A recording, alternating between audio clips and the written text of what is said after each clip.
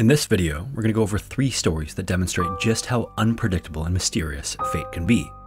The final story is of an event that has gone down as one of the worst in recorded history and is extremely unlikely to ever be repeated. As always, viewer discretion is advised.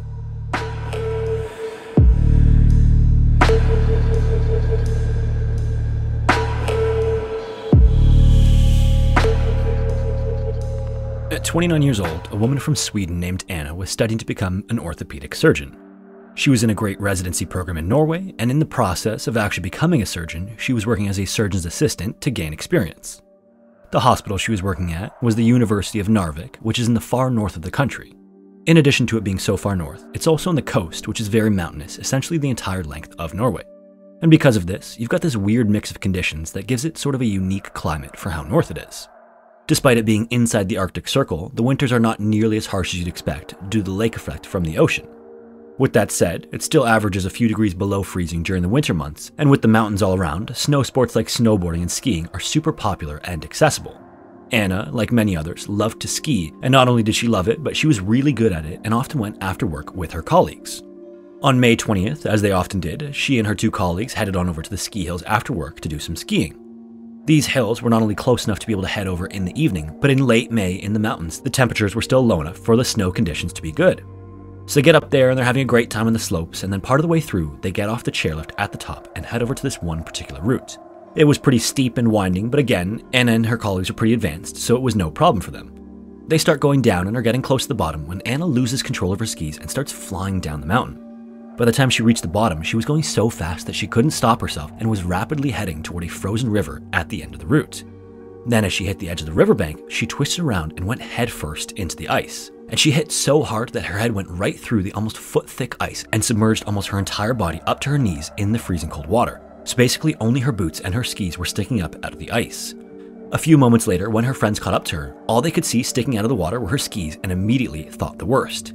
As they got up to her, they could see that Anna had her eyes open and had managed to get her head into a little pocket of air right under the surface of the ice, so literally just her face was sticking out of the water. The rest of her body was being washed over by this freezing cold water, rapidly cooling her down. They tried to pull her out, but the way that she was wedged underneath made it impossible. She had hit the ice so hard and wedged so far in, and now the current was acting almost like suction, keeping her pulled in. They tried for a few minutes before they realized that they needed to call for help right away. Just a minute in water that cold can start to cause hypothermia, and Anna had already been under for almost 10. Not only that, but they risked pulling her in and getting her stuck in an area without an air pocket. So at 6:27 p.m., they called search and rescue, and right away the search was launched. Where Anna was trapped was about halfway up the mountain, near the bottom of one of the routes. So a team was organized to come from the top, and another would travel up the mountain from the bottom. They even managed to get a helicopter on standby that was just about to leave that day. As they waited for rescuers to arrive, her friends just held desperately onto her skis to prevent her from slipping in further. And Anna, cooling by the second, already severely hypothermic, just sat motionless, looking out of the blurry ice. Finally, 40 minutes later, the first rescuers got on scene and got to work right away, but by then, Anna had already gone into cardiac arrest. They quickly attached a rope to her legs and tried to pull her out, but she was just wedged so awkwardly into the ice that they couldn't move her. Next, they tried to dig her out, but all they had were plastic shovels, which would have been fine in any other situation, but was not enough to break the ice. Thankfully, the second team arrived shortly after that, and they had metal shovels, so they hacked away at the ice to make a hole big enough to eventually pull her out. And when they finally pulled her out, an hour and 20 minutes had gone by since she was first submerged, and she was completely limp. Thankfully, both of her colleagues were also medical doctors, so they got to work right away giving her medical attention. They took note of the fact that her pupils were dilated, she had no heartbeat, she wasn't breathing, and her temperature was just 13 Celsius or 56 Fahrenheit. As she was airlifted to the hospital, each of her friends took turns performing CPR on her while she was given supplemental oxygen, but Anna was completely unresponsive. Finally, another hour later, the helicopter arrived at the hospital with Anna still pale and cold, like a dead body. Now, because hypothermia is something that they see fairly regularly in this northern part of the country, doctors knew that you can't pronounce someone with hypothermia dead until you've warmed them up. Anna was then hooked up to a machine that warmed her blood before recirculating it back into her body, and then another 25 minutes later, over three hours since she had first fallen in, her body temperature got back up to 36 Celsius or 97 Fahrenheit, and a single heartbeat was recorded. And then another, and another, and Anna's condition slowly stabilized. Apparently, because of how cold she was, although she wasn't breathing, her metabolism had slowed to just 10% of normal, meaning that despite the lack of oxygen, her cells weren't nearly as damaged as they could have been otherwise. She spent the next 10 days in a coma before finally waking up on May 30th, but when she woke up, she was completely paralyzed from the neck down. Miraculously, this was only temporary, and Anna spent the next few months slowly regaining function in her body. She has since almost made a full recovery, but did have some lasting nerve damage from the incident. This unfortunately prevented her from becoming a surgeon, but she still went on to become a radiologist and now actually works in the same hospital where her life was saved. Of all of the places on Earth that are considered remote, desolate, and unreachable, few can rival the conditions in Antarctica.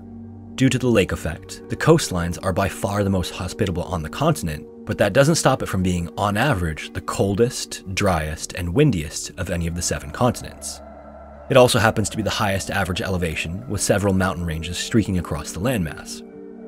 In addition to the elevation of the actual land itself, there is a coating of ice across the entire continent that is an average of 1.9 kilometers thick. As you might imagine, this makes it very difficult for life to thrive there. There are just a few species of plants and animals endemic to the continent, most of which sparsely inhabit the coastlines. And then there are people. As we have an act for doing, we successfully spread to almost every corner of the Earth. This includes a fairly extensive permanent habitation, even in Antarctica. In the summertime, the population is around 5,000 people. This drops to around 1,000 in the winter in the stations across the continent. The Amundsen Scott South Pole Station is the southernmost of these stations and actually sits directly on the South Pole. Because of this and the Earth's tilt, it receives six months straight of sunlight in the summer and six months straight of darkness in the winter. During the winter darkness, temperatures can drop as low as negative 75 Celsius or below negative 100 Fahrenheit. The 80,000 square foot main building has two levels and sits on height adjustable posts to prevent the station from being buried in the snow. And despite how little precipitation there is, it never thaws, so any accumulated snow can form massive snowdrifts in the harsh winds. During the summer, the station keeps around 150 people, and in the winter, this drops to just a few dozen. These dozen members are composed of just a few support staff and just a few scientists. Not only that, but for close to nine months, the people at the station are almost completely isolated from the outside world. The temperatures are too cold for planes to fly, so from mid February to late October, they are almost as isolated as the astronauts on the space station. In May of the year 2000, one of the scientists on base during the long isolation was Australian astrophysicist Rodney Marks. On the 11th, he was walking from one of the research buildings to the main building when he started to feel really weird. He was having a hard time breathing, a hard time seeing, and was just feeling really tired all of a sudden. Thinking that he might be able to sleep it off, he got back to his room and went to bed but instead of feeling better, he woke up at 5:30 a.m. throwing up blood. He went on to go to the station's doctor 3 times over the course of that day, and each time his symptoms were worse and worse. He had incredible joint pain and stomach pain, his eyes were so sensitive he had to wear sunglasses, and on his third visit, he was in so much discomfort that he was hyperventilating. On this third visit, the doctor gave him a sedative to calm him down, which seemed to work initially. He laid down and his breathing slowed, but shortly after that, Rodney went into cardiac arrest. Within 45 minutes, he was pronounced dead at 6:45 p.m. on May 12th. This was obviously shocking to the people on the base because deaths in Antarctica are very rare, and Rodney died so suddenly. Due to the extreme isolation and lack of resources, people who are chosen to stay during the winter months are heavily screened for any health risks. If something happens, they simply lack the proper equipment for most procedures, so people chosen to stay have to be very low risk. For example, the doctor at the station couldn't even perform the autopsy on Mark. They'd have to wait all the way until October until the first flights could bring his body back for a proper examination. In the meantime, it was ruled as due to unknown but natural causes, likely a heart attack or stroke. To make matters worse, there wasn't really a place to even store the body, so the people at the station had to build a casket and store his body in the base's storage compartment. Finally, on October 30th, Rodney was flown back to New Zealand for an autopsy where a disturbing discovery was made. The coroner discovered that Rodney had ingested around 150 milliliters of methanol. At the station, this colorless liquid is used to clean the equipment, but it's toxic in even small amounts. Based on this information, there were now four possibilities for how the methanol got into Rodney's system. First, he ingested it willfully in an attempt to commit suicide.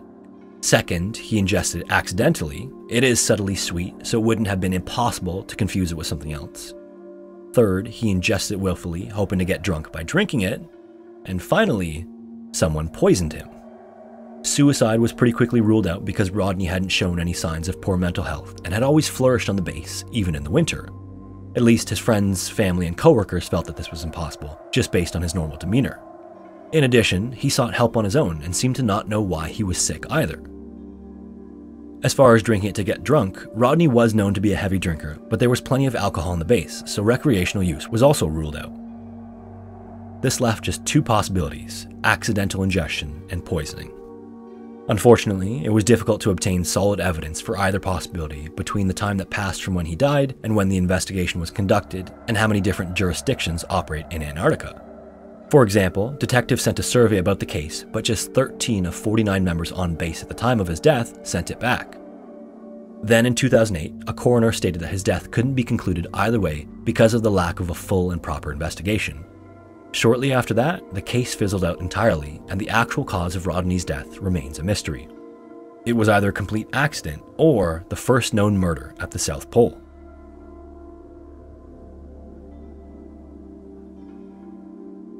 On August 6, 1945, an event occurred that would forever change history.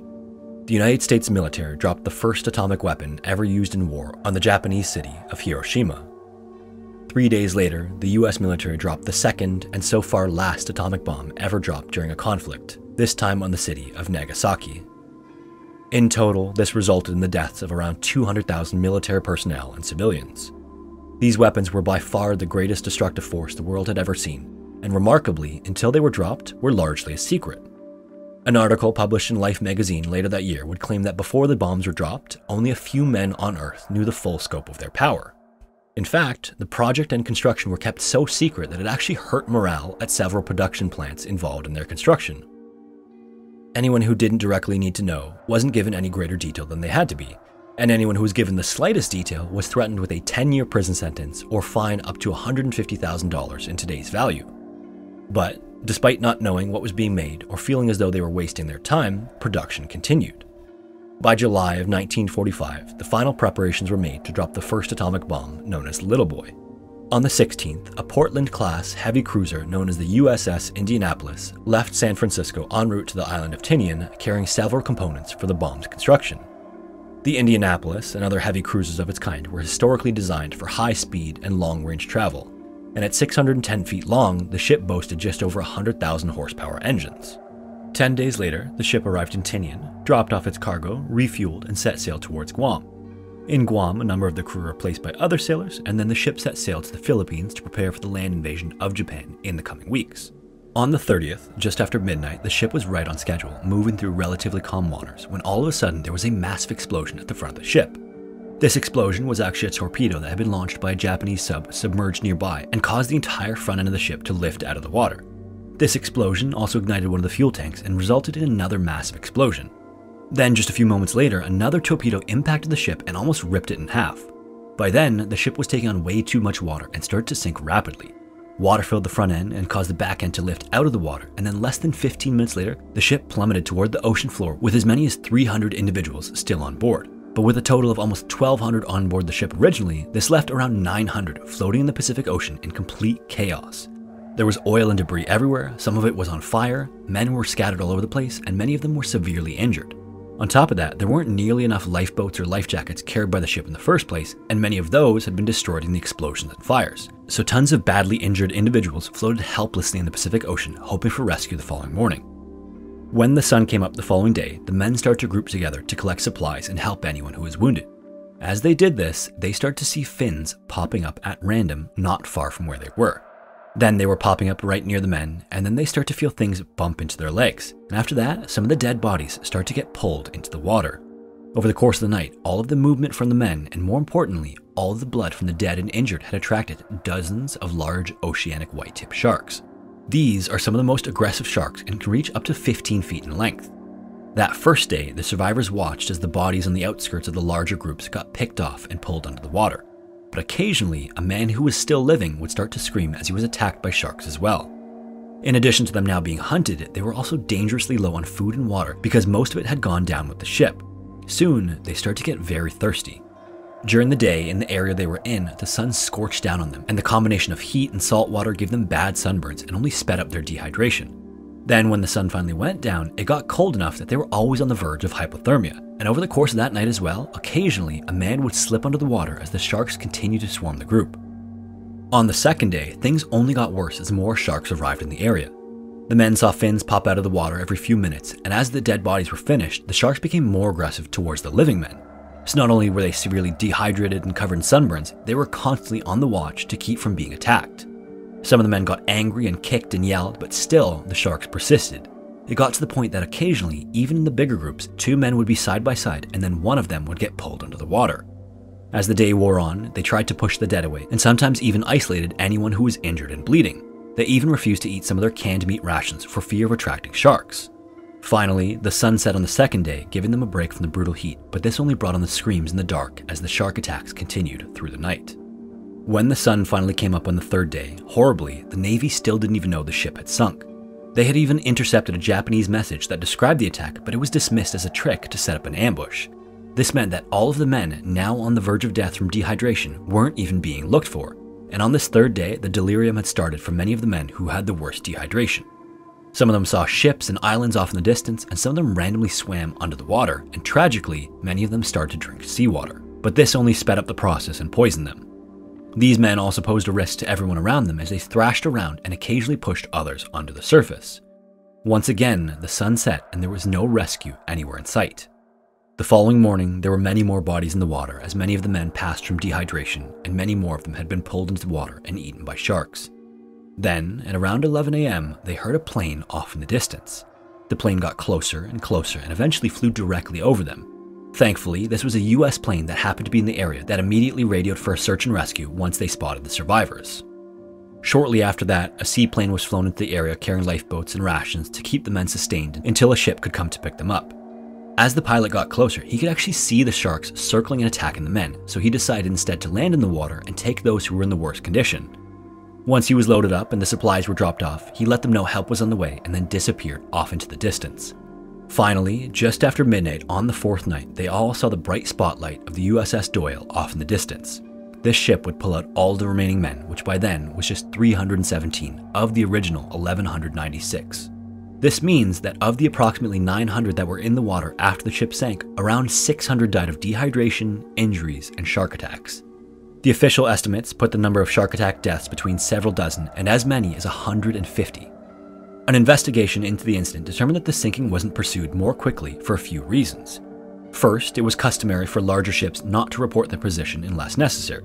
Their schedules were generally also based on predicted position and the day of their scheduled arrival, but that means that someone should have noticed that the Indianapolis didn't arrive on the 31st of July. And in fact, someone did notice. A lieutenant was informed that the ship hadn't arrived on time but didn't immediately investigate further, it's unclear exactly why, but then he also failed to inform his superiors that the ship hadn't arrived, leaving the men to float helplessly in the Pacific Ocean. He later received a letter of reprimand for his negligence, and the sinking of the USS Indianapolis remains the greatest loss of life at sea from a single ship in US Navy history, and it's thought to be the single deadliest shark attack in all of history.